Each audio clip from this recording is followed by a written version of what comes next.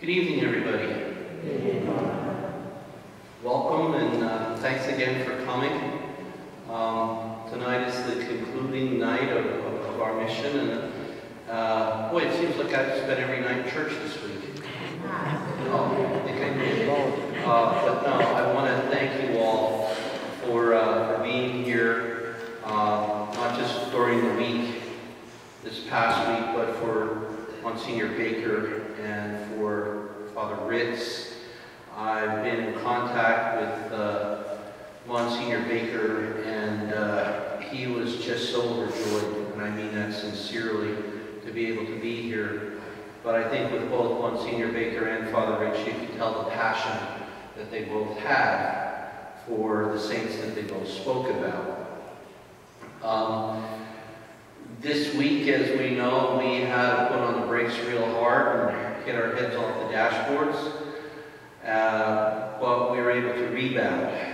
Um, this week we were supposed to have Dominican friar Father Jonathan Kalish with us, who is the Supreme Chaplain of the Knights of Columbus and their Director of Religious Services, uh, to be with us to talk about uh, Father Michael McGivney, the founder of the Knights of Columbus one night. And Father Kalish is also an expert on uh, St. John Paul II. Uh, the reason why we are putting the two of them together is because uh, John Paul II, of all the popes, utilized the Knights of Columbus most during his 30-year pontificate as one of his arms of charity to help take care of the world. And it was through much of the efforts of the Knights of Columbus that uh, that was sent to Poland at the time of communist occupation allowed Poland to once again become a free nation and to be able to regain its Catholic status. But as we know, because of the uh, war in Ukraine right now, um, Father Kalish was sent by the Knights of Columbus to go to Poland to help oversee the Knights of Columbus humanitarian efforts down through the Ukraine. Um, so he kind of left us in a lurch, and but a excusable lurch. And the other night at dinner, um, I said to uh, both Father Finlan and to Father Carroll, um, you know, let me just throw this idea by you. Maybe I should just let things go.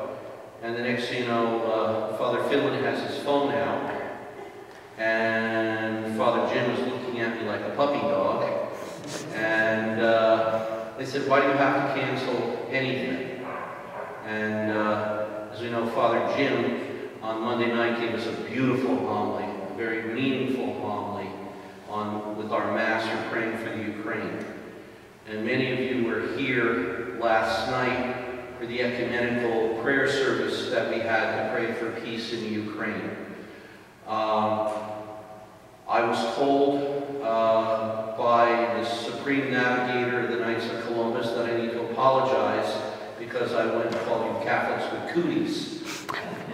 You know, um, I call myself a Catholic with cooties. But I, I want to say this because uh, you were all here in Mass last night, and I was really thrilled that as many of our people and as many of our Catholic neighbors were here last night. You know, sometimes it gets to be a little bit more embarrassing when you have all these visitors coming to the church and our own people aren't here. So thank you for doing that. Um, I think it's been a good week.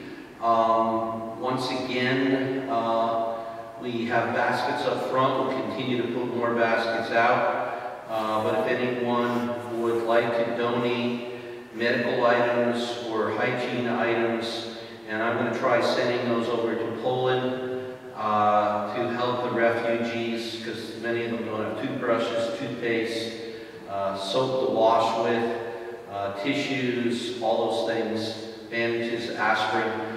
We're going to try sending that over there to try and help with just our little bit of contribution. So I want to thank you for that.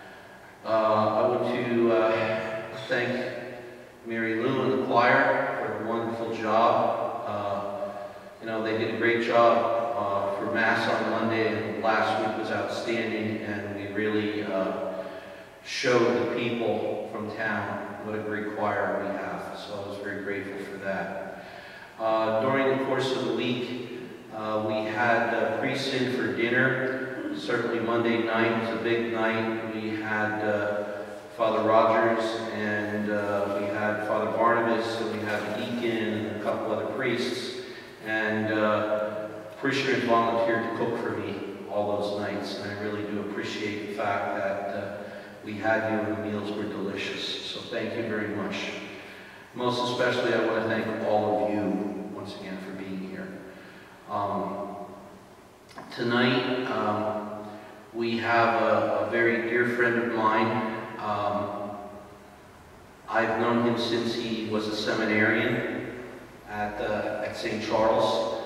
Um, and we've been close ever since. Um, I was not in seminary with him. I was a baby priest at the time. But I was very grateful that uh, he befriended me and times looked to me as a mentor. And uh, I guess there's times I tormented him too. Uh, but our friendship goes back some almost 40 years. And, uh, you know, aside from Tim Pellish, I really don't have a friendship that long. So I'm very grateful for Father Finlan. Um, Father Finlan um, is uh, pastor of uh, John the 23rd in Tamaqua, and also St. Richard's in Barnesville. Uh, he was another one of us that has two parishes to worry about. Um, Father Finlan uh, saw the light uh, because when it came time for him to theology, he chose Mount St. Mary's. So, and we know that Mount St. Mary's best seminary in the country. Um, but Father Finlan, with a lot of his leadership, even as a deacon and a student, uh, helped guide the way for improving seminary education. And he now serves on the Rector's Council and the President's Council down at the Mount. One of the, the things that he also uh, managed to do, and I don't know how, when you look at the schedule of a seminarian at the Mount, how he managed to do it, especially since he was always such an underachiever. Uh, twice a week, he would drive down to Washington, D.C., where he attended the John Paul II Institute. And it was through that that he was able to further his education. And so uh, he too has gotten a very decent education in John Paul. So while we might not have Father Kalish uh, we have him to conclude our mission with tonight. Uh, one other point, and then I'll turn it over to Mary Lou. Uh, a number of people have said it's a shame the Dominican couldn't be here. I know the Knights of Columbus have been a big support for me, as they always are, with so many important projects. And we're going to work on trying to get Father Kalish back, uh, maybe when the weather gets warmer over the summer or something to talk about the work of Father John McGivney. I think it's important, I think you all agree, uh, understanding the lives of these people of our time and how they became saints is fascinating. So Mrs. Wisniewski, what do you have planned? Please join with me, hymn number 191 in the Credo book. Remain with me, hymn number 191.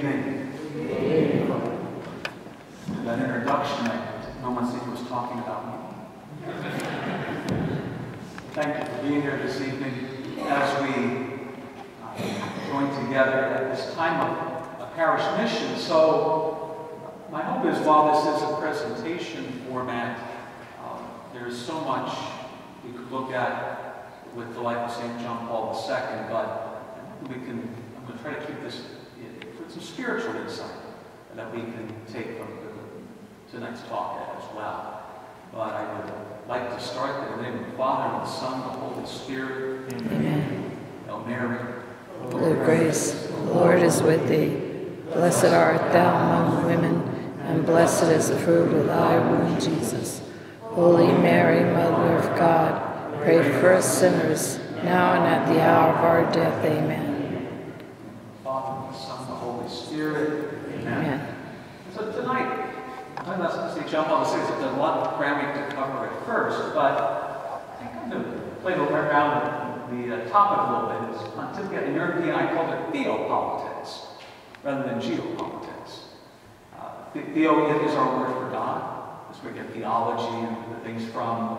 And so it, it was a, a God-centered politics for St. John Paul II. It's just not a, you know, kind of a common secular politics. He, he understood that you know, human beings are political creatures. And we live together in societies, and those societies should reflect the core values of us as, as Christians. And so, we'll play around that title a little bit. So you might get a lot about geopolitics today. Where's his, his theopolitics? And how, you know, St. John Paul II uh, was also a bit of an issue in, in age. When you consider he was elected uh, to, to the papacy in 1978. And uh, so, oh, well, I guess you know, figure this out, but uh, I was about 10 years old. And so basically, I grew up with St. John Paul II, in a sense, as, Pope, all the way through high school and then into the seminary. I was blessed to have the chance to meet him and talk with him personally, like over with Mass at his chapel and then meet him afterwards. Um, one of our, you know, the characters in our talk tonight, like Leslie, you might remember Solidarity, had the chance to meet him and spend time with him. And I always laugh, and and even, we won't talk about uh, Pope Benedict, but as Cardinal Ratzinger, I actually had breakfast and lunch with him at the table. The people you run into. So, but, but it's interesting as it all comes full circle. Now I'm standing here uh, to, to talk about this. And um, as Monsignor was mentioning while I was at Mount St. Mary's, I had the opportunity, and, and I don't know how I did it because I would just want to fall asleep at some point in the evening. But twice a week I was down to Washington, and the, John Paul II student at, at that time was located at the Dominican House of Studies at the campus of Catholic U. But, uh, but again, I know, coincidental, we were supposed to have a Dominican talking to us. I was there with the Dominicans at the JP2 Institute, also taught by some Dominicans at Mount St. Mary's as well. And but I was also thinking, you know, I was at the Mount, I was, you know, my last year of graduate studies there in seminary studies, I was down in Washington twice a week. I was in Allentown, St. Thomas More for my deacon assignment on the weekends. So I put a lot of mileage on that poor car that, that year. No wonder why it died. Drove that poor thing into the ground. But, but, but, but all of that uh, was kind of a neat atmosphere to be in. Uh, you know, as John Paul II was, was Pope, we were learning about him and seeing the changes that were happening in the world, in some ways be, because of him. Um, and so I don't want to take a lot of time on in the introduction. So hopefully this works. There we go. Uh, the topic you can't see just is 20th century, century European history. We're not going to do a big history lesson. It's just a few big points to remember because I don't know the age of everybody. Some of you may have lived through this. Some people may be younger and, and, and it's a little shaky. But if you think about the 20th century in Europe, you have a World War, okay, and you know it was a disaster in Europe. So there was the First World War, okay.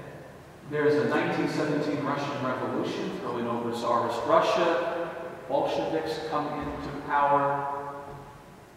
Uh, 1922, you have, especially you have these rise of dictatorships beginning again again in, Europe. There's a depression in 1929.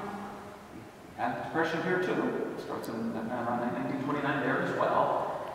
And then we roll into the, the Second World War. Again, a decimation of Europe once again. And, and tucked within that is the Holocaust. You know, I cannot imagine what the impact of all of that was on the people of Europe. You think about the impact we see in the United States of troops going over to fight, literally, as we're looking at pictures from Ukraine of the destruction, that is what they were experiencing there as well, you know, and, and over and over. And then just an eventual of the Holocaust sits in the background of all of this, because we're right in the middle of all of this with, with, with what begins to unfold. Also, 20th century Europe, and what else is going on? Well, we enter a nuclear age. So, uh, arms and armaments have changed. We can literally destroy the world if we wish. You know, uh, in 1922 and to 1991, the USSR is in existence. I was trying to figure this out. If you're basically under 31 years of age, you never existed in a world where the USSR was in existence. Think about that. For our younger, uh, you know, people who sometimes get lost in these conversations, the USSR didn't even exist before. Uh, course, you NATO in 1949 that is, is formed. There's a Cold War. Uh, and then in, info, information and communication, communication technology is taking off. The world is becoming smaller. We're much more connected again. Think of where we are today. You can pull out your phone, pull up, you know, uh, TikTok, which used to be just like people dancing, making funny videos. And you can see the war unfold in front of you in Ukraine, right from where, where you're sitting. So we've gone a long way, and all that was developing kind of as we make our, our, our way through the 20th century in, in Europe. I'm kind of keep, trying to keep us focused in Europe because we want to talk a lot about Poland and the USSR and things. And also liberal democracies are on the rise in Western Europe. So the world is changing rapidly.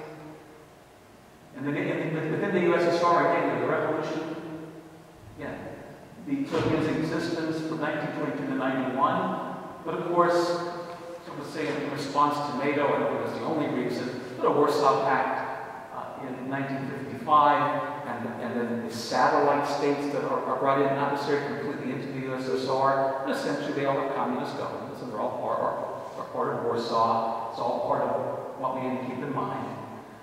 But into the scene in around 1985 and 91 is this change in, in the Soviet Union. It's uh, glasnost and perestroika under Gorbachev. Because the Soviet Union internally is coming apart, basically. And, and he sees it, they need reform, so he begins the reform movement. But tucked within that, there are all kinds of uh, what are primarily, by this point in time, uh, I'll call them bloodless revolutions, particularly first in the satellite states as they begin to break away from the Soviet Union, eventually the Baltic states, and then the USSR itself will essentially dissolve into what's, what's left of is now the Russian Federation, only a, a portion of what it, what, what it once was. So that's 100 years of history. There's no test on this. Okay?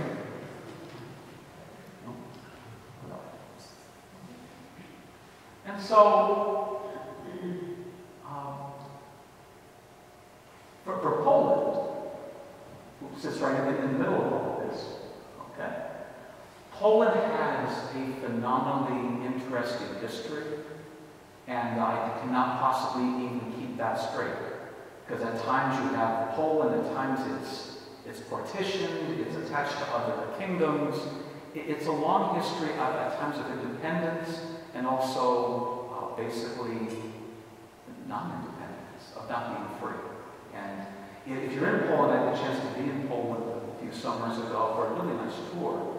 And I got to go to John Paul II's house and in London. We check out to go, to his house and things.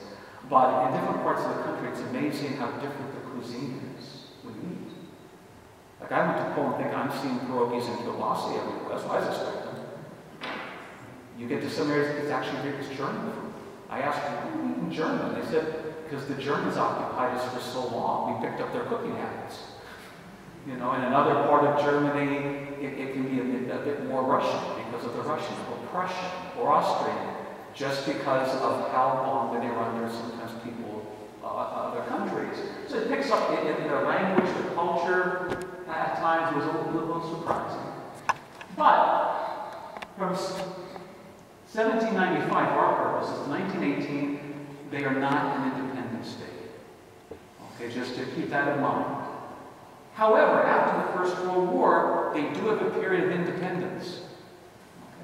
From 1918 to 1939, they are, it's the Second Polish Republic, they're independent, but threatened on all sides. It's, it's an uneasy in, in, in independence. And I'd like to point that out because essentially that is the, the childhood and the teenage years of Karol Wojtyla. Sometimes we forget that. His young years, he experiences a free country. Then the repression. So he gets to see both sides of this. You know, and when you think about it, before that they were not free. Every story he heard growing up was probably about how horrible it was when they were uh, uh, when, when, they were partitioned and governed by other people. But then the Nazi occupation happens, and following upon World War II, eventually Yalta and all of the rest, I'm not going into that history, the Polish People's Republic is established, but it has a communist government. Again, they are, they are kind of independent, but not really, because they answer to the Soviets. And as long as they do what the Soviets want, it's okay. If they don't, the tanks come in. You know, essentially. And that will be a threat in, the future. There's a solidarity movement in 1980 that, that takes off in Gdansk. And that's one, one kind of the key leaders of that is Lech Walesa. Okay, and that will begin to change things, and we'll, we'll, we'll see that later. And then eventually freedom once again for the Third Polish Republic in 1989, and they continue as a free state. Today, leaning much more to, to the west at this point, and NATO and things, rather than towards the, the east. Now, how St. John Paul II? In 1920, he was born in Wadowice. But sadly, he was a very sad personal life. His mother dies in 1929. And that's the year he receives his first communion. We can decimate and destroy it all. That's the misuse of power. But after all those big things, what does he direct it to? And the lack of respect for the life of the unborn. It's important because he's not just going to talk about these meta concepts out here somewhere. He's going to keep driving down to the personal level. And there's nothing more personal than the life of the unborn. So it's already, again, in, his very first encyclical. He was a father of Vatican II, so he goes right into Vatican II. The truth is that only in the mystery of the incarnate Word does the mystery of man take light. Christ clearly reveals man to himself and brings to light his most high calling. That's why Christ is so important in this discussion right now. Because that's how you come to know what the true dignity of, of the human person is. It's in Christ Jesus. Human nature, by the very fact is assumed in Christ, has raised in us to a dignity beyond compare. You have no idea what your dignity is in the eyes of God. He's, he's yelling this at, at, a world that needs to hear a message. Who has the incarnation of the Son of God and certainly unite himself with each. Again, he's not just going to let it hang out here, this fuzzy, oh, he united himself to mankind, isn't that nice? He united himself to you.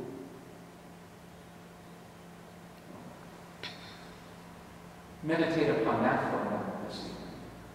Of your union to Christ personally. That's what he's, again, it's meta and then down to the personal. This is a phenomenal movement and phenomenological as well.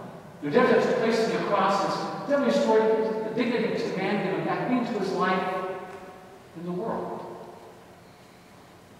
Again, he is, he is in these first encyclical, he's driving the themes home already. The church, the church's fundamental function, every age, and particularly in ours is to direct man's gaze, to point awareness, experience of man towards the mystery of God. That all men be familiar with the profundity of the redemption taking place in Christ Jesus. That's the church's role. That, that is it. We are here at the service of Christ to bring people to Christ, and Christ to people. To direct our gaze and our reflection upon all of this. But he has some concerns. He mentions them. The phenomenon of atheism, its various forms. Viewing atheism as program organized and construction, as a political system. He's addressing communism. But in some, you know, in, some ways, though, he's doing it without trying, without throwing it right there on the page. You just have to read and go, oh, is that what they're about? And Christ calls us meet and unite around him. It's interesting. The uh, countries of Europe who slaughtered one another in the First and Second World Wars were, were primarily Christians. They united around the wrong people. They're dictators, military leaders, and if they had united around Christ, none of it happens. Think about it. If you unite around Christ as Christians, none of this transpires. That's where we're to be united. It's, it's around Christ himself. And that's who we have to be. And that's who the people of Poland are going to have to be. United around Christ. That's what's going to, what he's going to bring home. You'll know the truth, and the truth will make you free. Because again, they're being fed a lie. What his point is. Communism is a lie. Just a lie. You're, and, and, and they're trying to feed it to the world. The world should conform more to man surpassing dignity. The church can abandon man for its destiny unbreakably linked with Christ. And there's a primacy of persons over things and the superiority of spirit over matter. Persons are more important than things. I remember uh, you know, my, my mom would uh, say that when we were starting to drive. Be careful. I don't care about the car, I care about you. You know. Now, if we bang the car, we're going to hear about it. But still in all, the first question would have been, are you okay? What were you doing? but there's a primacy of the person over the thing. And then also the spirit over matter, because atheism is a materialistic philosophy. Ultimately, and so is communism as well. They're materialists. They don't really believe in the spiritual. There's nothing spiritual about it. They, it, it, it's, and he's, his fights against materialism. So you can't become a slave of things. That's kind of a, a you know, a little stuff against capitalism. Because when he comes to the United States, everybody tries to talk against communism. He actually talked about capitalism and criticized it. He's an equal opportunity criticizer because the church aligns itself to no economic or political system. It aligns itself to Christ and the gospel. And we should praise what's good in any society, or, and we should correct what isn't. So, yeah, we can become a slave of things. Because you know, Holiness is for the entire world. Of economic systems, again, we're back into communism and things. We can be slaves of production. Again, used like cogs in, in the machine and thrown away and, and discarded. And even slaves to our own products. We make the stuff that enslaves us. Isn't that sick? We produce the very things that enslave us. Talk about a really, really weird world in which, which we live. And so a materialistic society condemns man to such slavery. Once we lose sight of the spiritual and, and be transcendent. Then he brings the principle of solidarity. And what will the labor movement be named in Poland? Solidarity.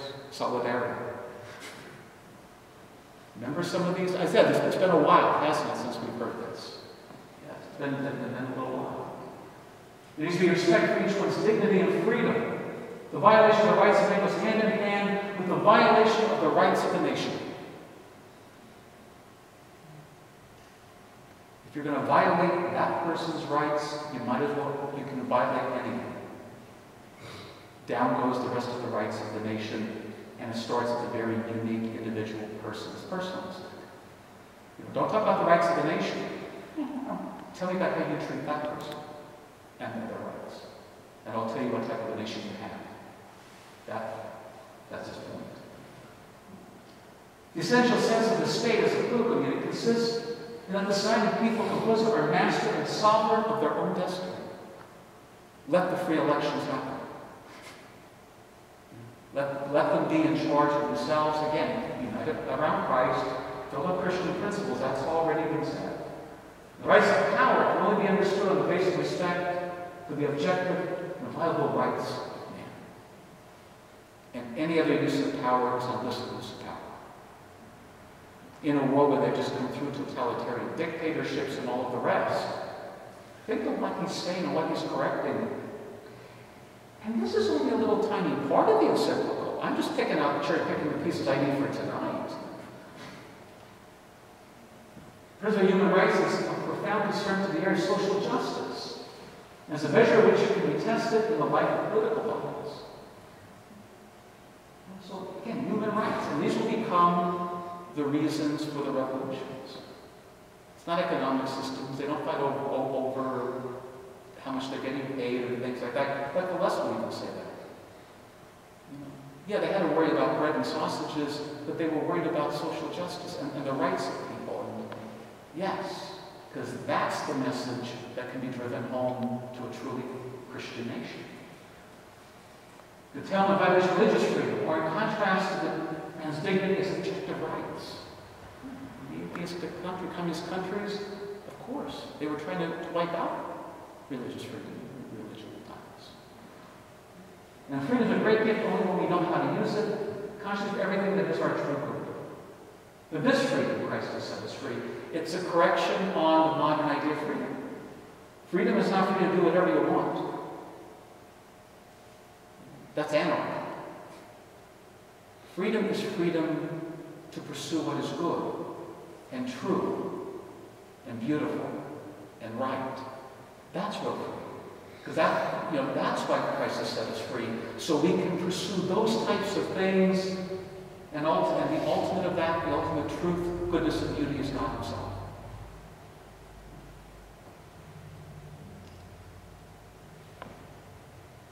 So we're out of for hominies again. That's, it's like a cherry pickers.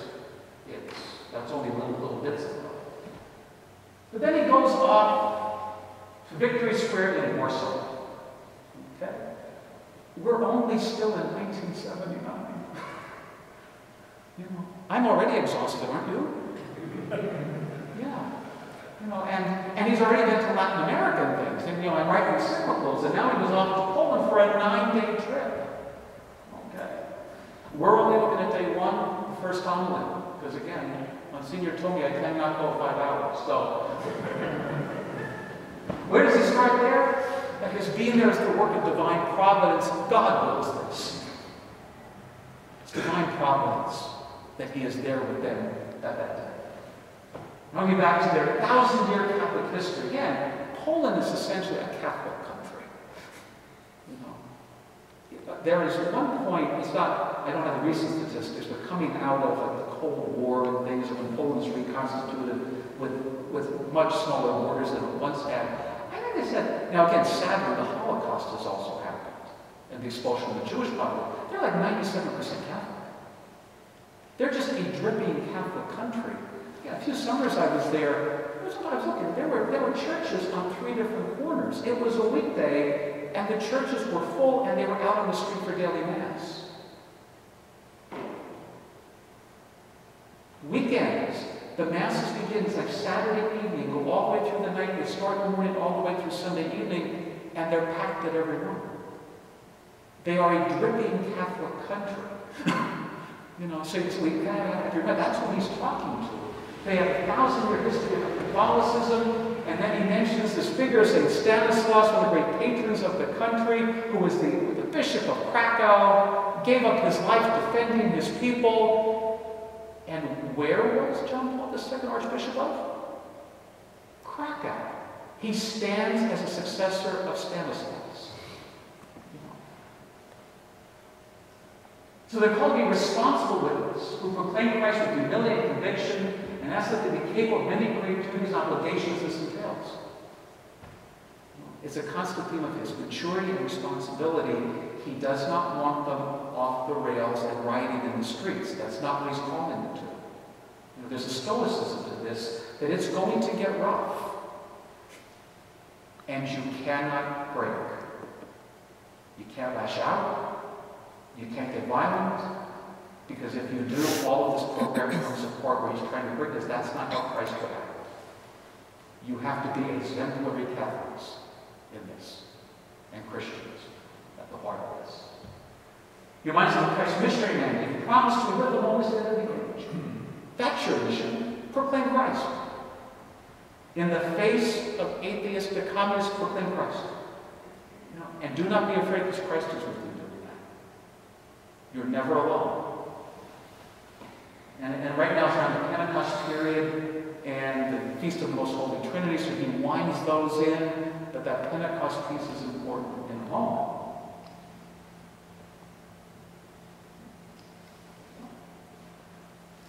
He says, to, to Poland, the church brought Christ. Remember before he has talked about the mission of the church to bring Christ to the world?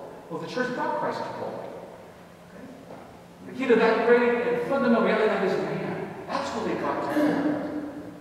Christ was the key to all this. And for man cannot be fully understood without Christ. This is homily in Warsaw, Victory Square. Christ cannot be kept out of the history of man in any part of the globe. The exclusion of Christ from the history of man is an act against man. We're in Warsaw under communist occupation of basically the country, to speak of it. Now, I know they're supposedly free, but it's a communist government. It is said that three million people packed into Warsaw this. The communist authorities were terrified. They were looking out the upper windows wondering what is about to happen in our country. Because all these people are being riled up by this Polish guy who's a Poland. You know, and this is, and, and I said, he, this is what he's proclaiming to them.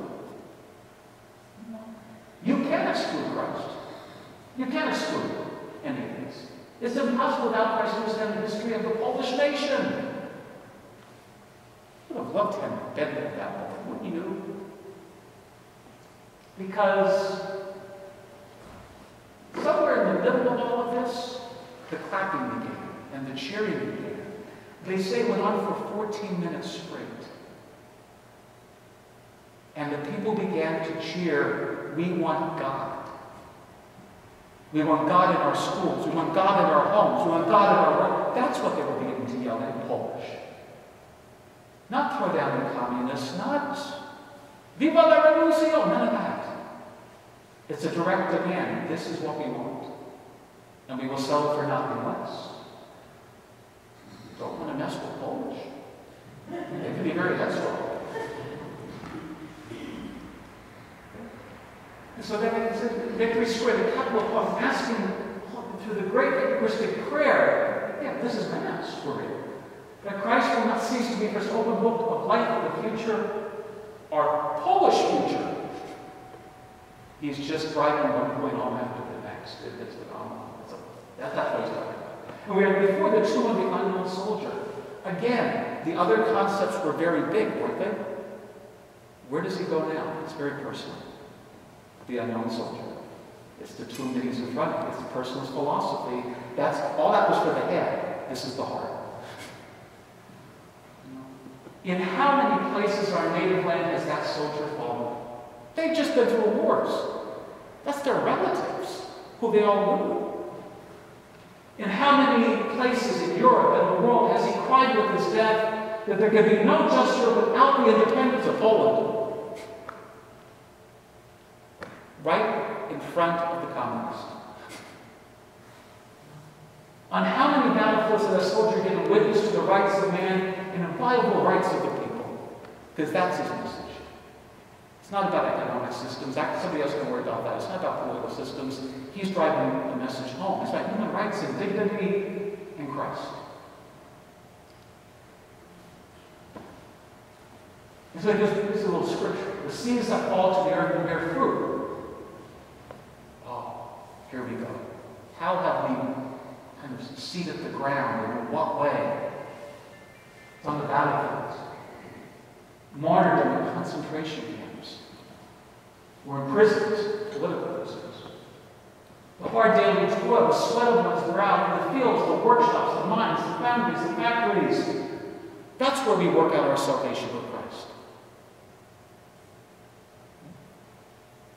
And then we drive a little more home. And the task of raising children. Talk about sweat of brow. The creative work in universities, places of national culture, prayer, service of the sick, very now. You know, service of the suffering, the abandoned. All of that is which Poland is made. That's what's made Poland. To, to where they are today. And of course, if you know the Polish, they have a great devotion to the Blessed Mother. Here she comes. All that in the hands of the Mother of God. Hands it all to Mary. Who was present, I, I, I just allude this, who was present at the foot of the cross of Calvary, at the very moment of the redemption, and is, and is present at Pentecost for the outpouring of the Holy Spirit upon the church. And the history of, and I love this. What? How did Hitler refer to Germany? The fatherland. The motherland. He won't even use Hitler's terminology to talk about the country. Because a mother loves and nourishes and nurtures. It's the motherland he's talking about. Shaped by generations. Know, see, anonymous and it's shaped by even the unknown and the anonymous, who is possibly almost everyone standing there.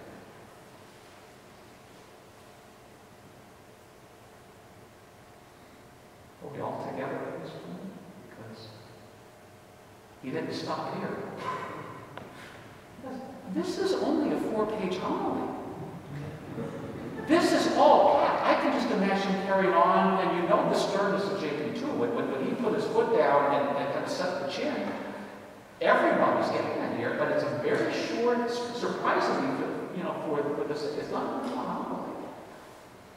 Okay. And so, I am the son of the land of Poland, and who am also Pope John Paul II. I cry from the depths of this millennium I cry the vigil Pentecost. Let your spirit descend. The. Let your spirit descend and renew the face of the earth, the face of this land. Amen. That's, that's where the homily ends, and in Warsaw. Now again, there are eight more days of this across Poland. It, it, it is said that, that at least one third of Poland saw him in person, and almost everybody else on TV or radio. And in some ways, it will be the last time in Poland he can have these kind of audiences, because in a moment we'll talk about that. The Iron Curtain drops a bit in Poland, and they're not allowed to have public gatherings like this and stuff. Still, a little bit in the future, but the other times he goes, he can't have big crowds like this. And you might be wondering, how did John Paul II learn to talk to crowds like this? One, he was an actor, things, but that's usually small. It's interesting. The Communist this because they wouldn't allow the church in Poland to use media. They couldn't use radio, they couldn't use TV. They, the only thing they could do is talk to big crowds. So he grew up as a, as a priest, basically, and as a bishop, talking to crowds in public. You know, it's why he, because, you know, I know they put him on TV, but he wasn't a TV personality, was he, John Paul II? He, he lived in the big crowd and connected with the big crowds. That's really what he had to do all the time in Poland. Uh, there, I, I, simply have a little bit of time. Okay. In 79, we did a nine-day papal visit Poland. This is a spiritual victory over communism. Now, in 1980, solidarity was founded the Solidarność, the, it's, it's a union of Poland in a Poland where unions were not allowed. Because they didn't want any kind of organized groups. But, but it takes off. Gdansk shipyards begins to spread through Poland, and it's a danger to the government because the people are now organizing and gaining power. There's an 18-day standoff eventually where they will do nothing. Everything shuts down. And the government's getting nervous. And they're demanding concessions. Like I said, it's a phenomenal union movement. They're not just talking about we want more wages, we want. This is going far deep enough. What they're asking and, and what they get. Freedom of speech, press, religion, release of political prisoners, prohibition of reprisals, public economic transparency, right for to participate in discussions on reform. And they get them. Not happily. That's going to cause a problem in a moment. But that's how much power the union had all of a sudden. But then in 1980, there's a plan. When I say staged, I mean they were staged and ready to, to invade. I don't mean like fake. I mean they were their staging areas. Are at the border. For the invasion of Poland was scheduled, scheduled for December 8th. It's the Soviets. They saw what had just happened and they went, not in union. You're not going to get these kind of rights. And so they, had they planned for months for, for an invasion of Poland. But it's one of, remember, Poland is under the communist kind of umbrella. And, and they answer to the Soviets, so there are, but one of the Polish colonels didn't like the Russians. So he's feeding information to the West and to the back. So as this is getting more and more ready, behind the scenes, countries are already calling and, and telling the Soviet Russian um, don't think about it. The, you know, don't even think about invading Poland. You know, it came from the Vatican. It came from the United States.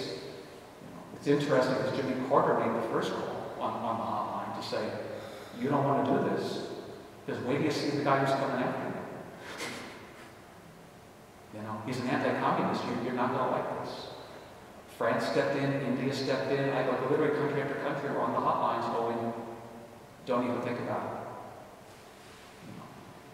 And the Soviets backed down, but I was like, it, it was planned for December 8th. What's December 8th? Feast of the Immaculate Conception. I think Mary said, you're not invading my homeland. no, not happening. December 8th. But what happens when the Russians are done? They say, okay, that's not going to work. What do we do? 1981, the assassination attempt at the Pope. Decapitate the leader. Now again, I know sometimes people say, were, they really behind it? Any report that's ever been written. Let me tell you, Mehmet Ali Agca, the, uh, the assassin, mysteriously he escaped from a Turkish military prison. That's interesting. The next place he shows up, if I remember correctly, is at a Syrian training camp run by the KGB.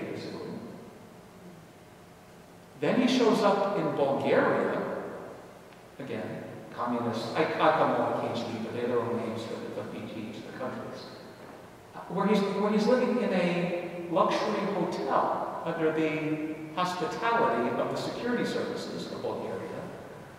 The next place he shows up is Zurich at a meeting. And the next thing you know, he's attempting to shoot the Pope. Connect the dots. You know, how did he go from Turkish military prison to, yeah. yeah. And, and every by the United States, Italian, they've all studied it. They said, no, the Soviets were behind this. It was, it was the next attempt to stop all of this. And that doesn't work. You know, he gets injured, what have you, but he lives. So, next, this is like a blueprint of, you know, kind of the time period and how they dealt with things. Well, if that didn't work and that didn't work, we'll declare martial law. That's 81 to 85, an attempt to stamp all of this out from internal. They simply ordered the Polish army to turn its own people. Because again, they answer to the Soviets. So, on December 13th, martial law is declared. The soldiers turn on their own people. 5,000 leaders of solidarity were arrested in one night and imprisoned. Tell me this wasn't planned. They rounded 5,000 leaders and imprisoned them. And I put information, knowledge, and finance and public pressure because that's kind of what's going on from the other nations. It- it- it's kind of interesting. While this is going on, what do the Polish people need? The communist authorities have shut down the press, forms of communication. The information age has moved along. Guess what the United States uh, is channeling through the Vatican to them and other fax machines. American fax machines were found all over Poland, so they could communicate with each other. What else? Photocopiers. That's what they desperately needed. They needed to copy and get, get, get things handed out in, in the underground. That's all being funneled through all kinds of channels. There's certainly financing getting funneled through all kinds of funky channels to, to, to help them survive. And then also public pressure constantly on during this period. Uh, 78 died at the hands of the secret police, including uh, Father Jerzy Kolechko, who was kind of the on-ground face of the solidarity movement for the Catholic Church. He was at the shipyards celebrating Mass, hearing confessions, and so again, they tried to, you know, kind of, well, they do kill him. It's not that they beat him to death. It was horrible death and chained him through mid river. But the underground kept the vision alive. His body was found. There was a public funeral for him. Hundreds of thousands showed up even against communist wishes, and the Pope showed up for him. Mm-hmm. And, and, and that is exactly at his tomb weeping that it happened to him. But that was the sacrifice that was being called for. Um, there are more people visits, but as I said earlier, they, they, he can't do the crowds like he did at the first, but he still keeps going. He did encourage the people. From 1983 to 89 in East Germany, this will give you a spread. This is one little example. See. Um, the, this is a Lutheran pastor on this. And every Monday at 5 o'clock in the church, they would have prayers for the conversion of this German. Well, eventually, uh, that rose in October 9th of 1989 to 70,000 people. The communists brought in 40,000 troops. They were expecting a revolution. The people had candles, they prayed, they sang hymns, they walked through the midst of the machine guns, and it says not one stone was thrown through a window, not one cap was knocked off of a police officer. It was a completely peaceful religious demonstration. The soldiers wouldn't fire them. There was no reason to fire them. Uh-oh. Have I talked my microphone out? Tell him. do it.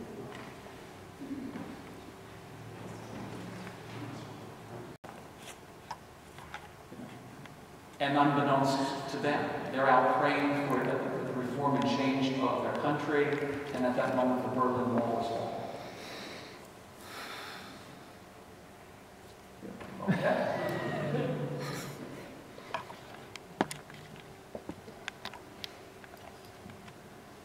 So by, by 1989, we have all kinds of revolutions, but again, they're just peaceful. It's like one satellite state after the next is, is, is beginning to break away. Uh, it's Poland first. Let me just some of the others just so you know the name. It, it, it's Hungary, it's East Germany, Czechoslovakia. They're all peaceful. Romania, I put in, it, it was almost peaceful. They almost got it right, the poor Romanians. Until they brought the leader of the country and his wife out to the wall and shot them. They almost made it. But that was the worst of it, I think, in Romania. But it was, a shock. Everybody else was getting it right. It was like, okay, no bloodshed. Let's just make it happen. The poor Romanians, they just were so angry. you know, so it, they almost made it with, to, to the bloodless level. Then next were the Baltic states. And then eventually, the, the, yeah, you're getting into the true Soviet now. Belarus, Ukraine. Okay, and then on Christmas Day 1991, the great Christmas present, the dissolution of the Soviet Union, basically, and the establishment of the Russian Federation. Um, you know, There's, a lot of history and background that we won't go over, but Barbara Elliott is a writer, a researcher, and she says Karol Wojtyla had conflict, a conflict with communism was ultimately a conflict in the of spirit. Communism is unambiguously atheist. Its premise is that man is a unit and engaged a, a poor and engaged in a class struggle which after a bloody revolution promised to produce a new man perfected by political means. That's atheism. That's communism. But Wojtyla knew that man is made in the image of God, created for a purposeful life on earth, and with an eternal destiny. It's a very different vision of, from what he was competing against. Might take care of Pope John Paul II as a political foe who vanquished communism, but that would be untrue. His position challenged communism in the metaphysical realm, not in the political realm. He understood the era of communism lay at its fundamental understanding of man, who is not merely a unit of labor engaged in perpetual class struggle, but a creature made in the image of God with his soul and the eternal destiny. These are the counter narratives. And he, wa- and he was convinced, as we should be as, as Catholics and Christians, that that is the vision of the human person, the truth of the human person. Whittaker Chambers was once a communist agent, but changed his uh, allegiance and returned to, to America. He said, the attraction of communism is as old as, as the Garden of Eden. The promise that we shall be as gods. There have been two faiths on trial in the 20th century, faith in God and faith in man. And that was really the fight that was being contested, with will constantly tell you that's where your faith needs to be, in, in God alone. And of course, once you do that, the dignity of man is elevated. So vision of man without God, Jacob knew this, was true deep in his bones. He lived under the lash of totalitarianism. He saw it. His answer to was to overcome evil with good, to answer threats of violence with faith and nonviolence, went straight to the deepest truth about the nature of man, his intrinsic dignity, his capacity for good. Jacob to inspire every person who was honestly seeking the truth itself. And so he sparked a peaceful revolution that shattered communism by transcending it. The end. Monsignor, I will hand this back over to you.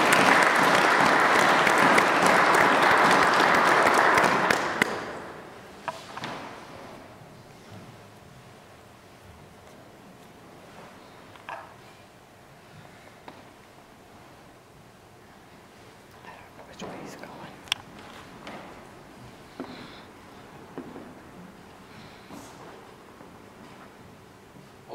Say is, wow.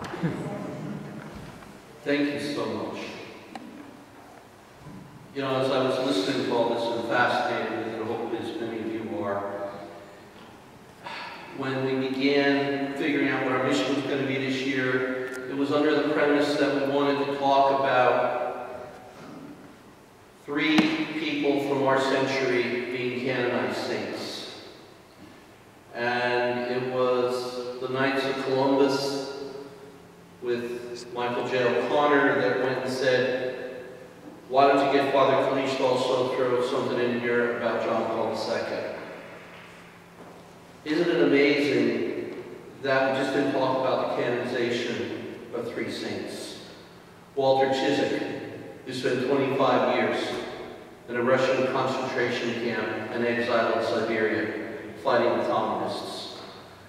Father Stanley Rother, down in South America, fighting communist governments.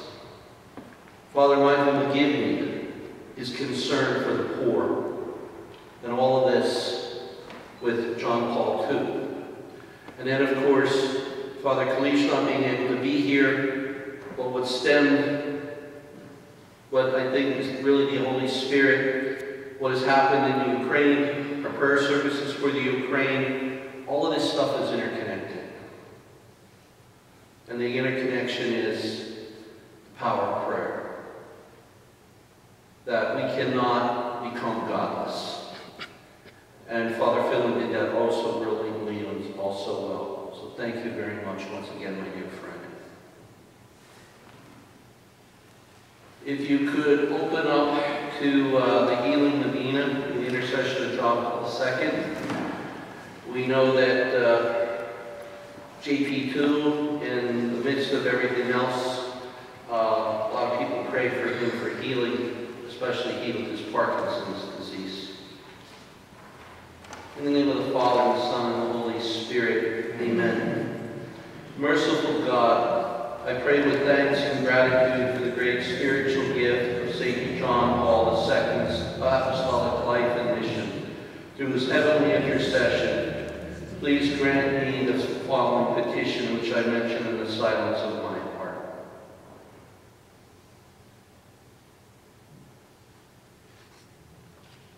Grant also that I may grow in love for you and proclaim boldly the love of Jesus Christ to all people, through Christ our Lord.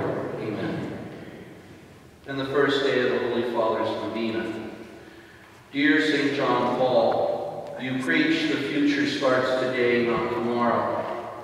As I start these nine days of prayer with you, I thank you for reminding me that with God's help I can begin again, but I need to start now, not as some distant point in the future. Your words are encouraging and inspiring to me.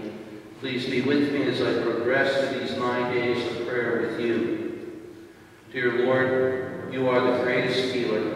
You gave St. John Paul II to the entire world to show us how much you love us. With your mighty power and through his intercession, we seek healing, not just of our physical body, but our emotional, mental, social, and spiritual health as well. In keeping with your greatest commandment, we will love you with all our heart, with all our mind, with all our soul, and with all our strength. We will also love our neighbor as we love ourselves. Amen. Our Father, who art in heaven, hallowed be thy name. Thy kingdom come, thy will be done, on earth as it is in heaven. Give us this day our daily bread, and forgive us our trespasses, as we forgive those who trespass against us. Lead us not into temptation, but deliver us from evil. Amen. What is Mary Lou choir sending us home with? We're going to do number 600, Suscipe. Take glory and receive. Have number 600 in your cradle book.